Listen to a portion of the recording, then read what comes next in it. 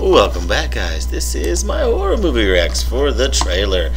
Hotline 1982, and apparently it has Linda Blair in it. Uh, I did not know. I've never seen this movie, never heard of it. I just checked my birth year for uh, good horror movies because you know we're in the spooky season, and uh, yeah, Hotline popped up. I'm not sure if it's a good horror movie, but it's got Linda Blair in it. Uh, around the time she was doing Wonder Woman, so it can't be all that bad. I hope not. I don't think. I'm going to look for it and find it. Maybe it's on Shudder. Maybe, hopefully. Fingers crossed. Well, if you like what I do, please like, share, and subscribe. Click that notify bell and uh, subscribe button. Wow, I forgot what how to do this. And uh, leave me a comment. And links will be in the description, so you can um, links for my Facebook and Twitter, so you can check them out. And I just search for Hotline on YouTube, and it's there. So let's get on with it. Hotline trailer 1982. Linda Blair.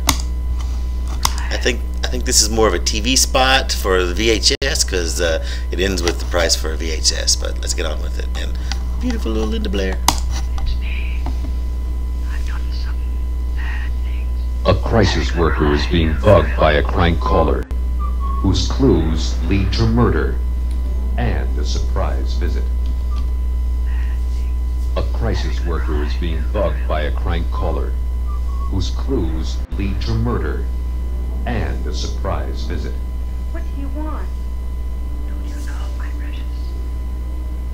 This looks like kind of like Giallo-y or something, 70s Giallo or something. I'm gonna have to look it up. It looks it looks pretty good so far. Linda Blair can act, or not Linda Blair, Lynda Carter. Was I? If I said Linda Blair earlier, I meant Lynda. I meant Lynda Carter. I'm so used to saying Linda Blair when it comes to horror movies. I meant to say Lynda Carter, Miss Wonder Woman. And it can't be that bad having Lynda Carter in it because uh, Lynda Carter, you know, at the time had Wonder Woman, as I was saying. Just in case if I said Linda Blair earlier, I'm correcting myself. Leave me a comment saying, seeing if I did, because I feel like I did. So leave me a comment.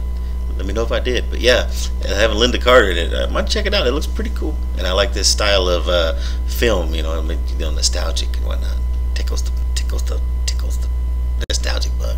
Couldn't think of anything else to say. Now the killer's got her number. Don't try and kill me, Justin.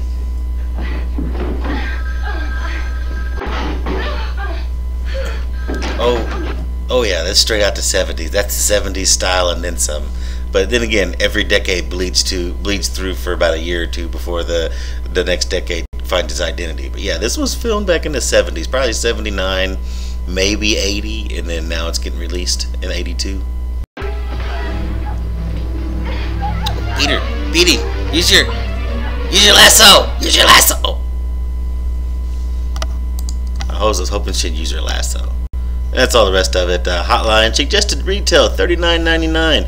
Back when VHS tape, and that was cheap for a VHS tape, or is that is that five hundred, or is that supposed to be an S? I think that's supposed to be an S. So I'm gonna say it's thirty nine ninety five, which is, you know, not bad, but I bought a game for less than that nowadays. So you know saying back in the day when VHS. And then this was a cheaper VHS too, apparently.